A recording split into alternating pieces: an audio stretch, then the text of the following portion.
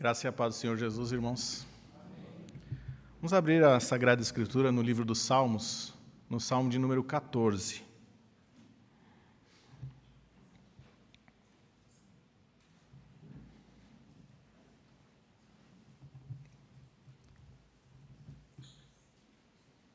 Livro dos Salmos, Salmo de número 14.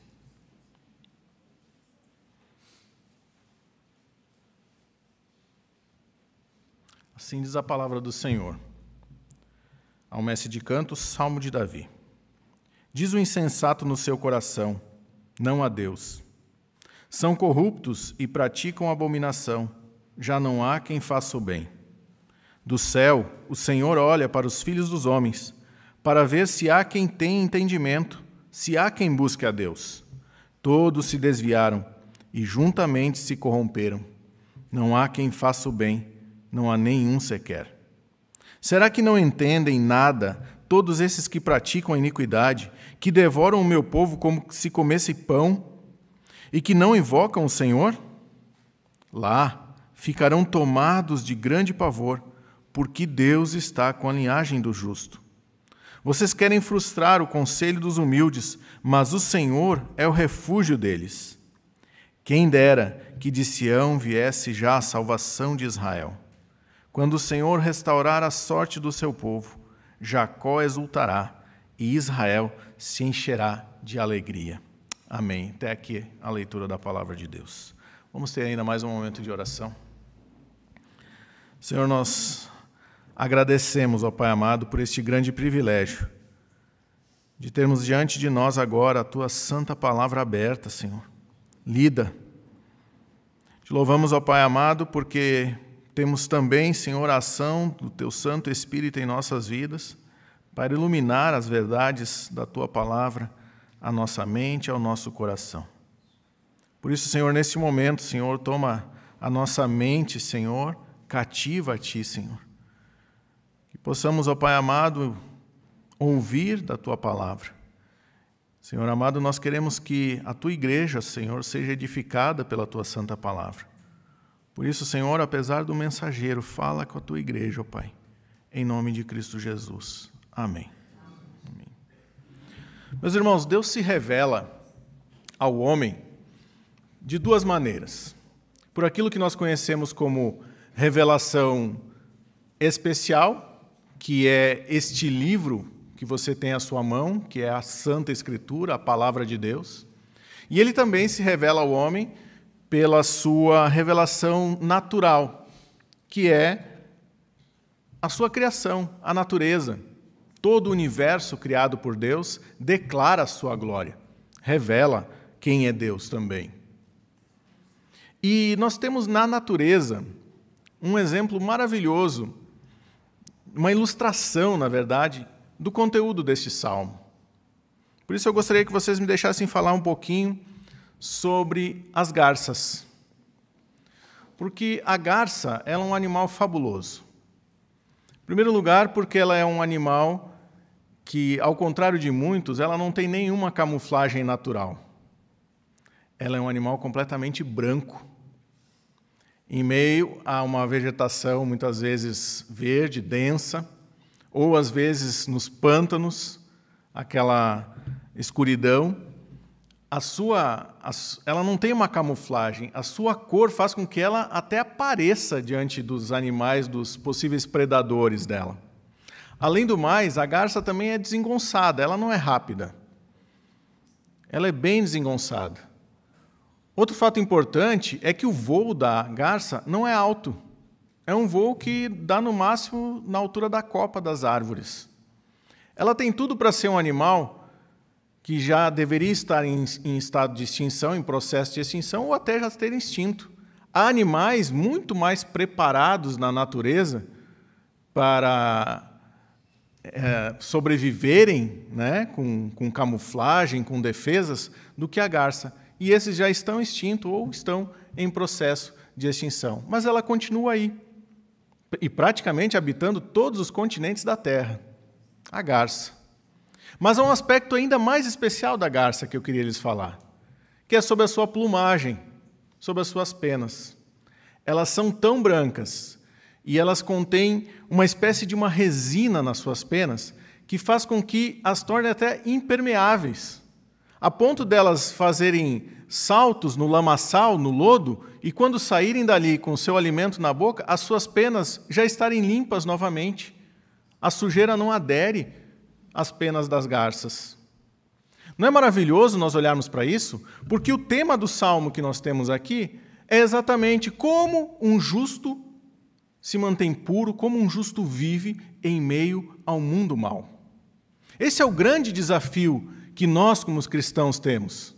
Como nos manter puros, limpos, diante dessa maldade que nos cerca, diante dessa impiedade que nos cerca. Esse é o assunto desse salmo aqui.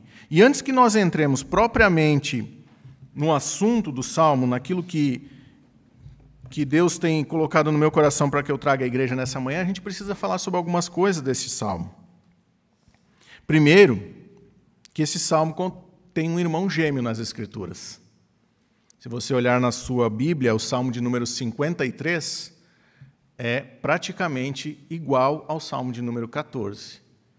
Eles contêm algumas diferenças. A diferença mais significativa desses dois salmos é o uso do, do termo Yahvé no Salmo 14. Yahvé, que é uma referência ao Deus pactual, Deus da aliança, aparece quatro vezes no Salmo 14. E você vai reconhecer isso na sua Bíblia com o Senhor escrito em caixa alta, né? em letras maiúsculas. E você pode reconhecer que toda vez que aparecer Senhor em letras maiúsculas aí, a referência no hebraico é a Yahvé, o Deus que se revelou a Moisés na sarça que ardia e não se consumia, lembrando do Deus da aliança. Já no Salmo de número 53, todas as referências a Deus são usadas do termo Elohim, que se refere ao Deus criador. Por quê? Porque o Salmo de número 53 ele está naquele, naquela parte né, do livro dos Salmos que nós chamamos do, do livro Eloísta. Era preciso falar dessa diferença para que você compreendesse isso. Mas ela não é tão relevante a mensagem que nós vamos trazer nesta manhã. Mas há mais alguns aspectos interessantes aqui neste salmo. Ele está dentro de um bloco no livro 1 dos Salmos, que nós podemos chamar do, do salmo de número 10 até o salmo de número 14. Cinco salmos que formam um bloco. Ele, o, número, o nosso salmo de número 14, mas o salmo de número 12 e o salmo de número 10 são lamentos, lamentos quanto à situação geral da humanidade.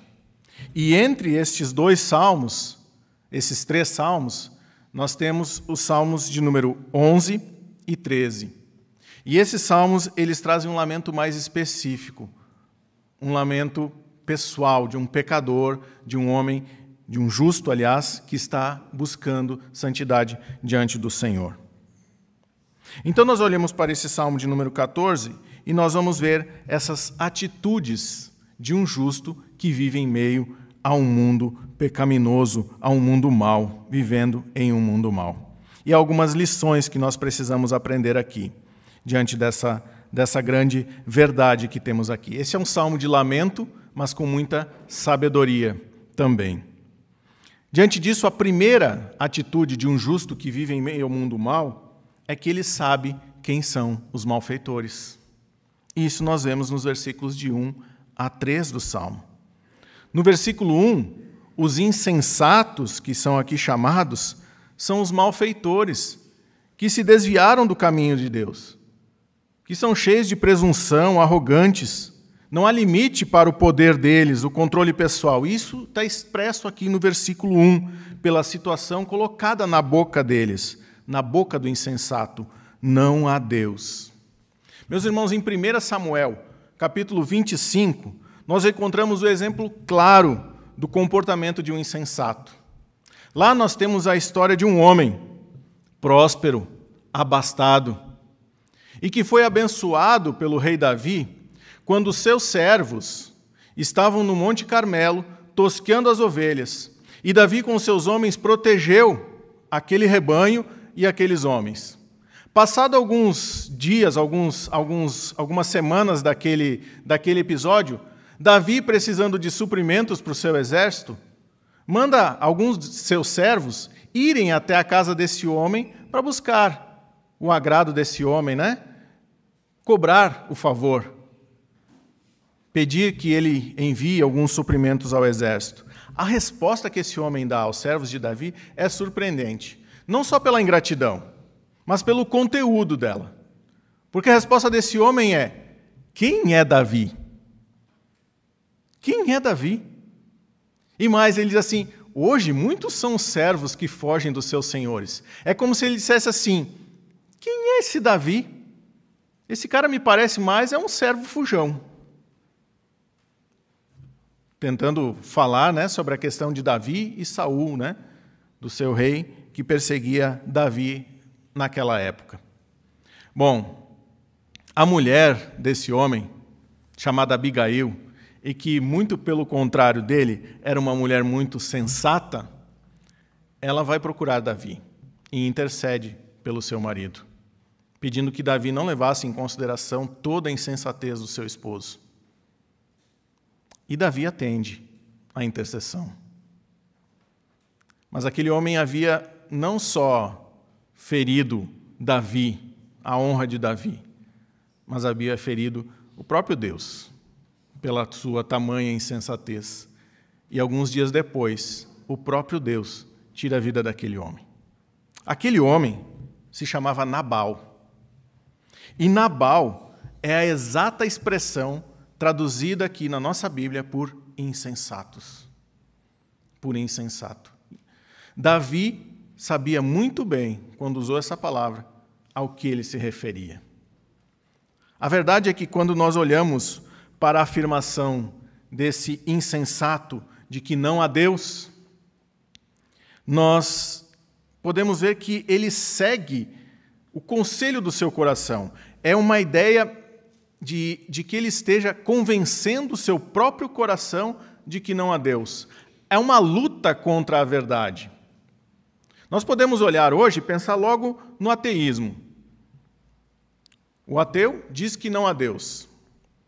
A grande verdade é que a maioria dos ateus são ateus apenas na prática, porque eles estão constantemente lutando contra a verdade de que Deus existe. Por quê? Porque eu não acredito em duendes. E eu não passo todos os dias da minha vida dizendo às pessoas que duendes não existem. Porque simplesmente eles não existem, eu não preciso gastar meu tempo com isso. Mas os ateus parece que passam todos os dias da sua vida tentando provar que Deus não existe, porque na verdade eles sabem que Deus existe. É esse tipo de comportamento aqui. Não é uma ignorância quanto à existência de Deus. É uma ação deliberada no coração, na mente. E aqui, coração é o centro da, da nossa vida, não só as nossas emoções. Aqui é, é, é, o, é o intelecto todo, é o ser humano. Eles tentam convencer o seu coração todos os dias de que não há Deus. Agora, o que é mais interessante é que quando nós olhamos para essa atitude, nós logo pensamos, pensamos nos ateus. Mas a verdade, meus irmãos, é que existem muitos cristãos que têm vivido suas vidas tão no automático que é como se Deus não existisse. Frequentam as igrejas, participam das programações da igreja, mas a sua vida tem sido vivida como se Deus não existisse. Apenas uma vida de religiosa, uma vida de uma casca podre, sem nada, assim como esses ateus. E há um grande perigo de nós nos tornarmos assim, de nos acostumarmos tanto com o sagrado, tanto com as coisas de Deus, a ponto de esquecermos do próprio Deus e nos apegarmos somente a essas coisas. Mesmo estando na igreja, a vida de muitos tem sido como a vida de Nabal, como a vida de insensatos. E esse é um alerta, o primeiro alerta que nós temos aqui no texto. Ainda no versículo 1, esses insensatos, eles são corruptos. A rejeição de Deus os leva a ações fundadas no interesse próprio, no desrespeito aos valores morais. A corrupção desses ímpios, desses insensatos, tem influência além deles.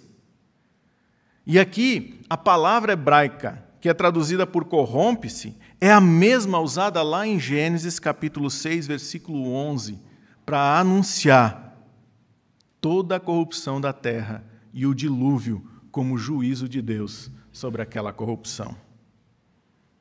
Essa rebelião dos ímpios infecta para pior o mundo em que eles vivem e atrai o juízo de Deus. As ações deles também são abomináveis. Nós vemos isso no, no mesmo versículo 1. O texto descreve aqueles efeitos internos e externos do estilo de vida de um insensato. Como a corrupção polui o mundo interior deles e as suas ações estendem essa infecção pecaminosa àquilo que está fora, ao mundo, àqueles que estão próximos. E Davi finaliza a sua primeira parte dizendo: Não há ninguém que faça o bem. Davi está analisando a sociedade da época, o mundo da época, e ele chega a essa conclusão. Diante desse, desse, dessa postura de dizer ao próprio coração não a Deus, a consequência imediata disso é de que eles se corrompem, que eles praticam abominação e de que não há nenhum justo, não há ninguém que faça o bem. Todos se fizeram insensatos, pensando na vida como se ela não fosse uma vida responsável diante de Deus.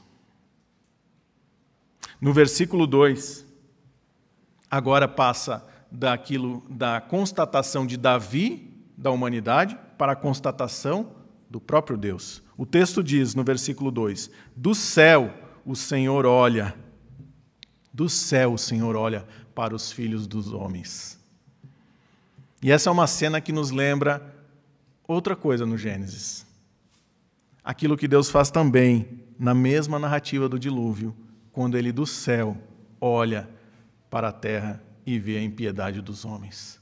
Nos lembra também de Gênesis 11, da Torre de Babel, quando Deus se inclina para ver o que os homens fazem sobre a terra. Isso nos mostra o quanto Deus é santo, transcendente. Nós sabemos que Deus é transcendente e imanente. O que quer dizer isso? Que ele, ele é tão santo e tão separado, a transcendência de Deus, ele é tão santo e tão separado da criação por conta do nosso pecado, que ele é transcendente, ele, ele, ele é diferente de nós. Mas nós também sabemos que Deus é imanente, no sentido de que ele age em nós e que ele está conosco. Esse salmo traz essas duas, essas duas, esses dois atributos divinos. Mas aqui, quando o texto fala do céu olha o Senhor, ele está falando da transcendência. Deus precisa se inclinar para ver o que está acontecendo aqui. Você já imaginou quando você quer ver um formigueiro funcionando? Você é tão grande, tão maior que as formigas, que você precisa se abaixar, se agachar, para verificar o que está acontecendo lá dentro. Essa é a ideia mesmo. Deus é tão grande, nós somos tão pequenos. Do céu o Senhor olha. E os humanos são tão corruptos corromperam-se tanto, corromperam tanto a sua própria vida, corromperam tanto o ambiente, que não há nenhum valor social mais, nenhum valor moral mais na humanidade. Como nós já dissemos anteriormente, aqui mais uma vez a palavra traduzida por corrupção é a mesma de Gênesis 6.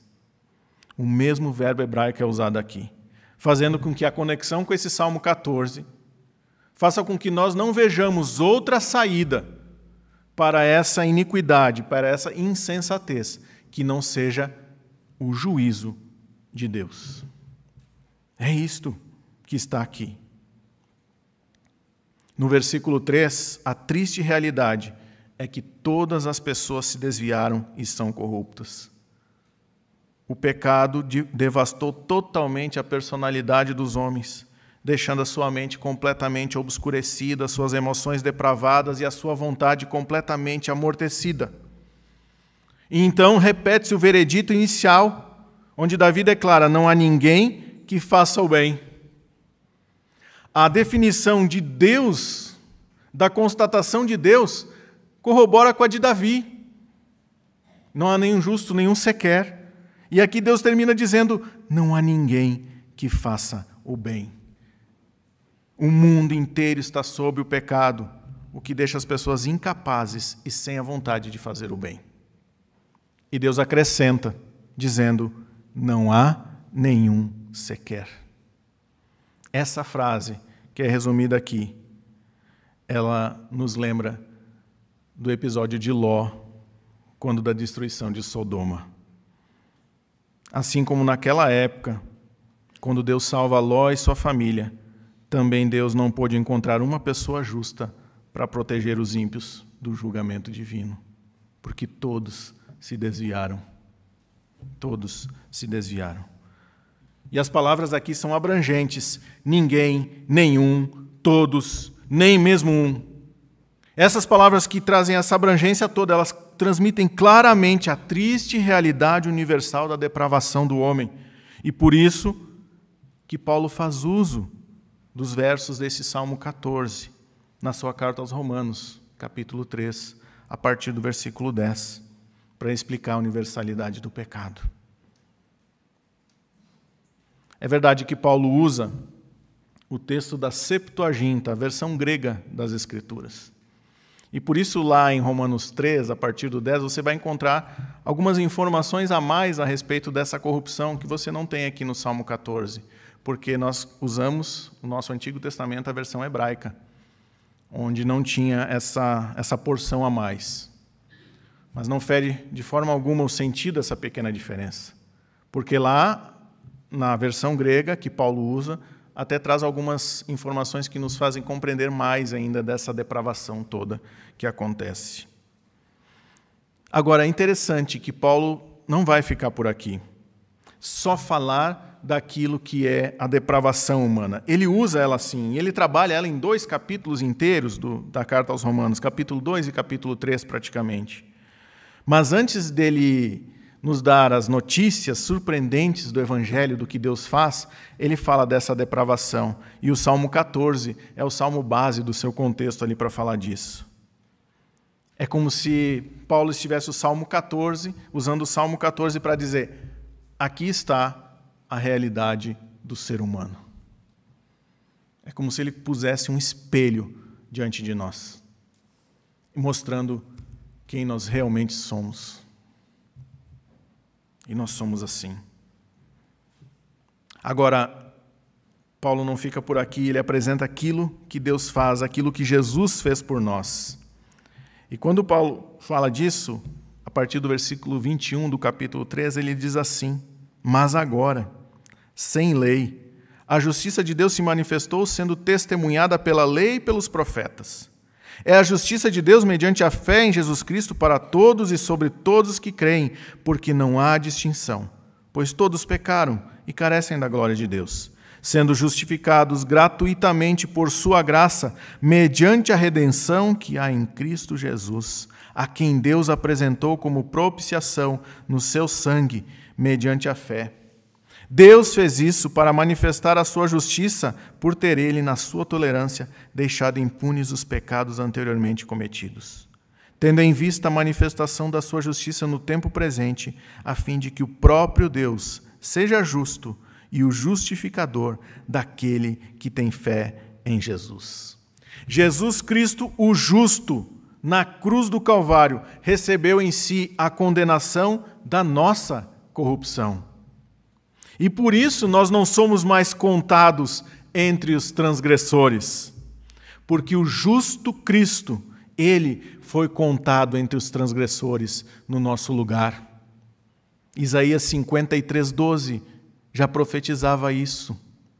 Por isso eu lhe darei a sua parte com os grandes e com os poderosos ele repartirá o despojo, pois derramou a sua alma na morte e foi contado com os transgressores. Contudo, levou sobre si o pecado de muitos e pelos transgressores intercedeu.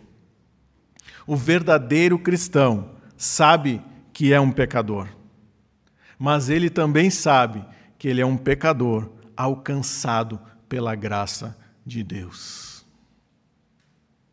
É por isso que nós podemos resolver essa tensão entre o Salmo 14 e o texto de Paulo em Romanos 3, porque no Salmo 14, na continuação do texto, vocês vão perceber que há uma diferença entre o ímpio e o justo. E quando nós olhamos para Romanos 3, o que Paulo faz é universalizar o pecado. Mas é porque ele está levando em consideração exatamente a graça de Deus que alcança os homens.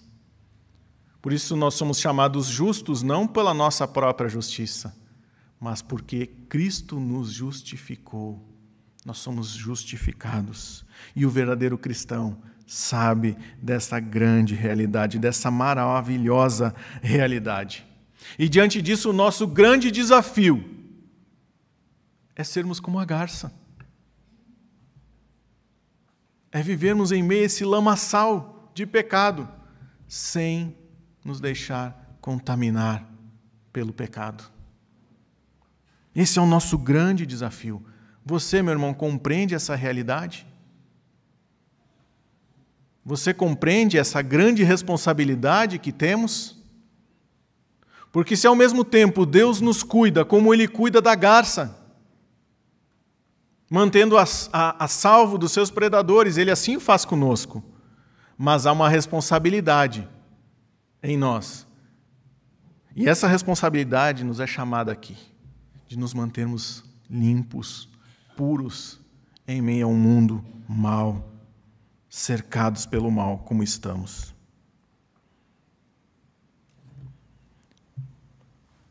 O que vemos aqui, então, meus irmãos, antes de tudo, é que nós devemos ter um ponto de referência para julgar o bem e o mal, o certo e o errado, fora de nós mesmos. Transcendente. Porque o que nós vemos na sociedade de hoje é que o certo e o errado são relativos. O bem e o mal são relativos. Depende de cada um, da forma como cada um vê isso. Esse é um grande engodo de Satanás, uma grande mentira, que corrobora com toda a corrupção e abominação que nós vemos no mundo hoje. Porque, meu irmão, se você pensa assim, que cada um tem um padrão de verdade, um padrão de certo e errado, de bem e mal, você nunca mais pode ficar irado com Hitler. Você não pode ficar irado com o Holocausto, ou com as atitudes racistas de alguém, com as atitudes más de alguma pessoa. Porque se não existe um padrão do que é certo e o que é errado, você nem mesmo deveria ajudar os pobres e necessitados. Nós precisamos de um padrão. Nós precisamos de uma definição do que é certo e o que é errado. E só o cristianismo é que oferece isso. E ele oferece isso na Trindade, no Pai, no Filho e no Espírito Santo, que nos oferecem aquilo que é certo e aquilo que é errado, aquilo que é bom e aquilo que é mal. Por isso nós precisamos compreender essa grande verdade e não comprar essa ideia que o mundo oferece para nós hoje. Só o cristianismo oferece isso. E como ele faz isso? Como? porque Cristo vem a nós, Deus vem a nós no seu Filho, para nos ensinar. Ele vem a nós com toda a autoridade do céu, porque Cristo diz: toda a autoridade me foi dada. E se nós parássemos por aqui, meus irmãos, nós teríamos todos os motivos para ficarmos apavorados diante dessa grande verdade. Mas ele não vem apenas com autoridade, ele vem com autoridade expressa em graça, amor e misericórdia. Jesus diga: siga-me e faça o que eu mando, porque eu amo você, porque eu te amo. O único ponto de referência que nós podemos ter de verdade é o ponto que está além de nós, é o ponto que está em Deus, que está na Trindade divina. Essa é a única maneira correta de compreendermos o certo e o errado, de podermos olhar para a humanidade como Davi olhou para a humanidade e compreender que eles não apenas pensavam mal, eles agiam mal, e esse mal transformava até o mundo ao redor deles. É só assim que nós podemos compreender a grande verdade da sociedade dos nossos dias. Então, a primeira atitude de um justo que vive em um mundo mau que o Salmo nos apresentou aqui é essa: que ele sabe quem são os malfeitores. Que ele sabe quem são os malfeitores. Mas há uma segunda atitude. E a segunda é que ele sabe que esses malfeitores é quem devem se assustar, é quem devem ficar apavorados. Isso nós encontramos a partir do versículo 4 até o versículo 6. No versículo 4, esses insensatos, eles são identificados como malfeitores. E por que eu estou usando essa palavra malfeitores? Porque na Bíblia, na sua Bíblia você vai ver que eles são aqueles que praticam o mal. São malfeitores. Aqueles que fazem o mal. Ou em algumas versões, obreiros da iniquidade. Aqueles que praticam o mal. Esses são aqueles que devem se assustar. Por quê? Porque o texto diz: será que eles nunca apreenderão? Não é essa a pergunta que o salmista faz? Nunca aprenderão esses que praticam o mal? Esses malfeitores nunca aprenderão? Porque eles não estão apenas envolvidos nas suas más ações, mas eles carecem de um conhecimento experimental de Deus. E, e é o resultado óbvio de alguém que vive com a filosofia de que Deus não existe. Se alguém vive com essa filosofia, não pode ter um, um, conhecimento experimental de Deus, não experimenta Deus na sua vida. E eles precisam disso, eles não conseguem encontrar isso. Então isso vai se expressando na sua, na sua corrupção, na sua abominação. A rejeição deles a Yahvé, a rejeição deles a Deus, transforma eles nisso que eles são. Mais uma vez eu quero frisar: isso não é simples ignorância, isso é uma ação deliberada do coração, da mente em negar a Deus, rejeitar a Deus e viver a vida do jeito que quer. Ainda no versículo 4 nós temos a impressão, eles não invocam o Senhor. É outra maneira de descrever esse relacionamento de interação com Deus. Óbvio, eles não têm isso. Eles não invocam o Senhor. Invocar o Senhor pode significar pedir ajuda, pode significar buscar a presença dele para adorá-lo. E a recusa desses homens, desses malfeitores em invocar o Senhor, é o equivalente à sua falta de busca a Deus, que nós encontramos no versículo 2. E é a característica da postura de vida deles, que é negada, negando a existência de Deus no versículo 1. Seguindo nesse mesmo versículo 4 aqui, eles devoram o meu povo como que comessem pão. A ideia aqui é de algo cotidiano, de algo normal, de algo que faz parte da nossa vida. Comer pão a gente faz praticamente sem reflexão nenhuma. A gente tem fome e come. Ninguém reflete, agora eu devo alimentar a minha carne, o meu corpo físico, porque eu estou necessitando dos nutrientes. Não, nós não refletimos sobre isso. A fome vem e nós automaticamente a matamos. A matamos. Essa é a ideia do texto. Eles devoram o meu povo como se comessem pão. É algo normal para eles. É algo que eles fazem até sem refletir.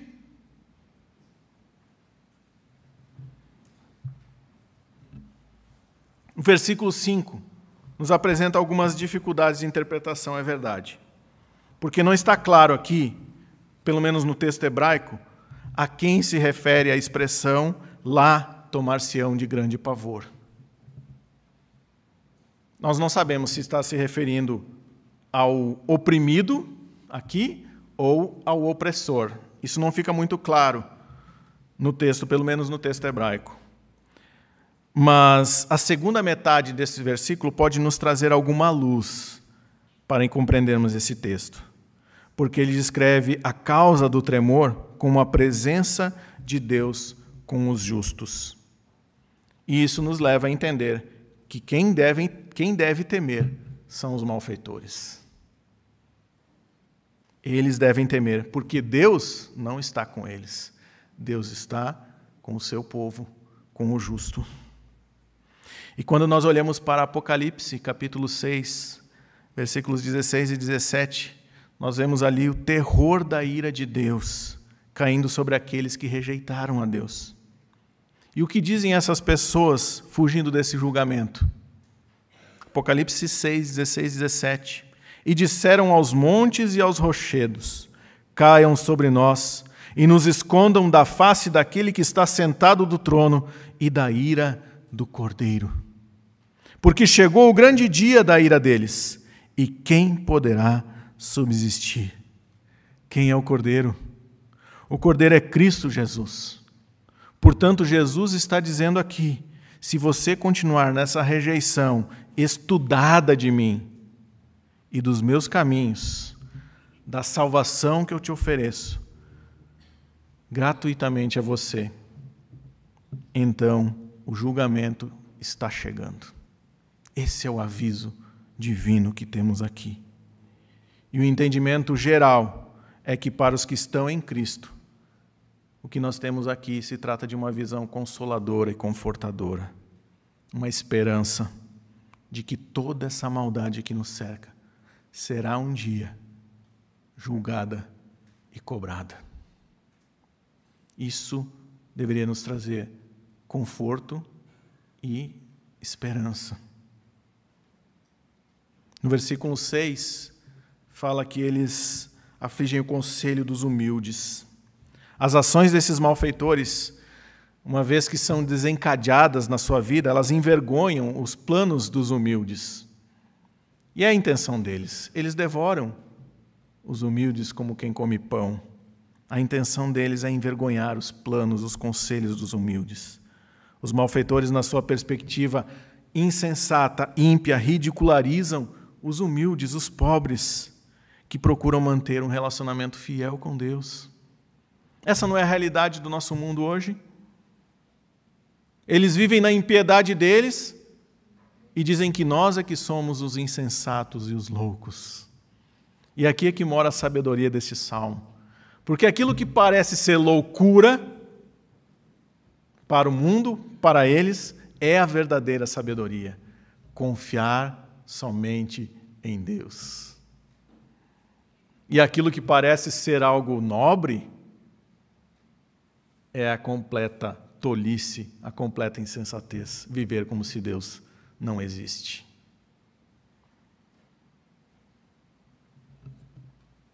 O que está em vista aqui, meus irmãos, em primeiro lugar, sim, são os pobres realmente materiais. Mas nós temos aqui também aqueles que são pobres de espírito, como Jesus fala no Sermão da Montanha, nas Bem-aventuranças. Aqueles que estão aflitos, aqueles que estão seguindo a Deus e procurando fazer a sua vontade e seguindo com muitos fracassos e quedas, é verdade. É assim que nós seguimos a Cristo, mas seguimos a Cristo ao mesmo tempo imaginando por que a vida é tão difícil. E talvez nessa manhã você esteja pensando exatamente assim. Talvez você olhe em volta, como eu fiz essa semana, quando preparava esse, esse sermão. Olhei em volta e percebi toda essa maldade descrita neste salmo. E ainda mais neste fim de semana, onde as pessoas estão entregues à carne ao carnaval, entregues à luxúria. E talvez você olhe para tudo isso e você pense: o que é que está acontecendo? Parece que o mundo está desmoronando, indo de mal a pior. E nessa hora é como se nós estivéssemos querendo dizer: onde tu estás, Deus? Onde tu estás? E a resposta que nós temos tanto neste salmo como em todas as Escrituras, é que Deus está bem aí, ao teu lado, contigo, porque Deus está com a linhagem do justo. O Senhor é o seu refúgio. E aqui, meus irmãos, Paulo, uh, o salmista Davi, usa o termo Iavé. O termo que nos lembra do Deus da aliança. O Deus que andou no deserto com o povo em forma de nuvem, os livrando do calor e do sol intenso, e à noite como uma coluna de fogo, os aquecendo e iluminando o seu arraial. O Deus que tinha sua presença marcada no templo e que ali abençoava o seu povo no Santo dos Santos. E hoje, esse Deus está conosco pela habitação do Espírito Santo na vida de cada crente. Cada um de nós é um santo dos santos hoje, que recebe a habitação do Senhor. Essa atitude, então, desses malfeitores de quererem humilharem os pobres de espírito, os justos, em vez de prejudicar eles, muito pelo contrário, só faz nos lembrar de aquilo, daquilo que os malfeitores jamais saberão: que Deus é o refúgio dos fiéis.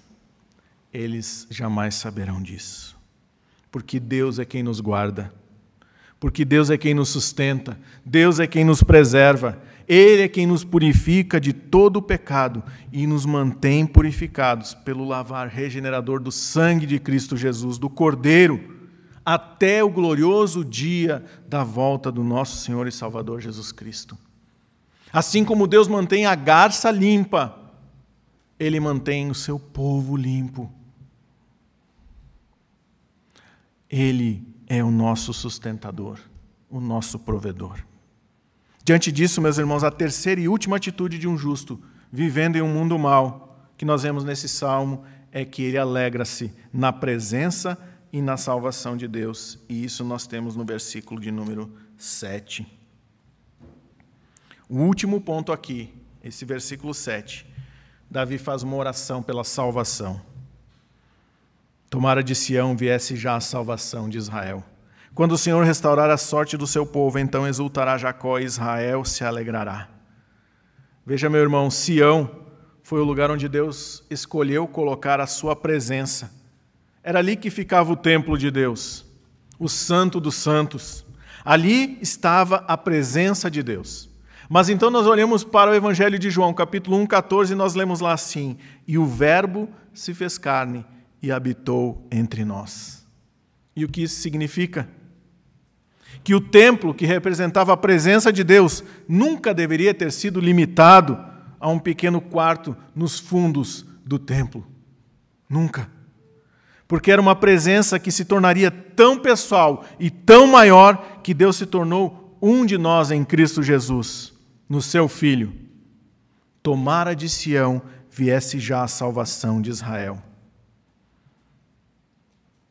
É importante nós lembrarmos que aqui esse tomara não está expresso em dúvida. Não é uma expressão de que talvez Deus não, não traga a salvação. Não, é uma expressão de urgência. É aquilo que nós vemos hoje, quando nós olhamos para a maldade do mundo. Quem não quer que Deus julgue logo isso? Que Deus resolva logo essa impiedade? Essa é ideia de Davi aqui, tomara de Sião, venha a salvação do Senhor. Ele sabe que virá mas ele quer um pouco de pressa. Ele não quer que continue nessa degradação como está aqui acontecendo. E meus irmãos, nem mesmo Davi poderia prever ou antecipar o cumprimento desse tomara, desse quando a salvação. Porque a presença de Deus irrompeu na pessoa de Jesus Cristo no Natal, no nascimento virginal do nosso Senhor e Salvador Jesus Cristo.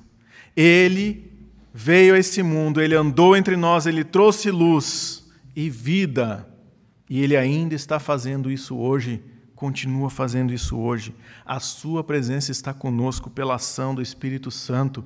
Ele nunca nos deixará, ele nunca nos abandonará, porque quando Jesus veio, Deus se tornou pessoal. Deus se tornou pessoal. De forma que esse tomara, esse quando que Davi expressa aqui, é a encarnação de Cristo Jesus. É o tempo que vivemos hoje. Meu irmão, essa grande verdade nos, faria, nos deveria fazer nos alegrarmos, exultarmos pela salvação que vem de Deus e já veio em Cristo Jesus. Davi ansiava pela libertação do seu povo, pela libertação de Deus desses malfeitores que atacam os justos. Ele ansiava pelo tempo que o Senhor estabeleceria o seu reino na terra e restauraria, restauraria a sorte do seu povo, antecipando aquele dia final, um dia marcado pela conquista divina. O povo de Deus poderia então se regozijar, exultar de alegria, porque ele finalmente estabeleceria o seu governo justo a partir de Sião. E meus irmãos, Deus fez isso na história na cruz de Cristo. A cruz que parecia um instrumento da pior injustiça. E realmente foi a pior injustiça que já foi perpetuada nessa terra. O justo Cristo foi ali crucificado. O imaculado, santo Filho de Deus, Jesus Cristo morreu. Mas não houve injustiça maior cometida na terra, não houve.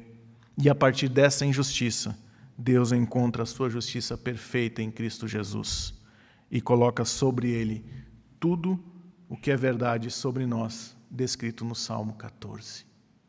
Toda a corrupção, abominação que nós temos nesse salmo foi colocada sobre Cristo Jesus na cruz do Calvário. Aquilo então que parecia um instrumento de morte tornou-se um instrumento de vida eterna a cruz. E você pode ver então, meus irmãos, que nós poderíamos colocar dessa forma. Davi está dizendo: Senhor, inverta a sorte do seu povo, envie salvação. E a resposta de Deus é: Eu inverti a sorte do meu filho para que a tua sorte fosse invertida. Aquele que era santo, aquele que era perfeitamente justo, aquele que tinha tudo, deixou o céu para se tornar um de nós e tomou sobre si tudo o que é verdadeiro sobre nós, toda a nossa corrupção aquele que não conheceu pecado, se fez pecado por nós, para que nele fôssemos feitos justiça de Deus. Porque a sorte do Salvador foi invertida, a nossa sorte foi revertida para toda a eternidade. Glória a Deus por isso. Vivemos à luz do quando, vivemos à luz desse tomara, meus irmãos. Ele enviou a salvação, ela está disponível hoje. De forma que, se você não é um cristão, se você ainda não vive com esse Deus nesta manhã, Ele está oferecendo a sua graça. Ele está falando com você nesta manhã. E o que você precisa é provar do doce perdão desse Senhor, confessando a Ele os seus pecados e então provando dessa alegria exultante da salvação em Cristo Jesus. E se você, meu irmão, já é um cristão, se você já vive com esse Deus, ele lhe conclama a se alegrar na sua salvação. A se alegrar na sua salvação. Em Cristo, nós também temos uma esperança maravilhosa, e tão maravilhosa como Pedro nos escreveu na sua carta.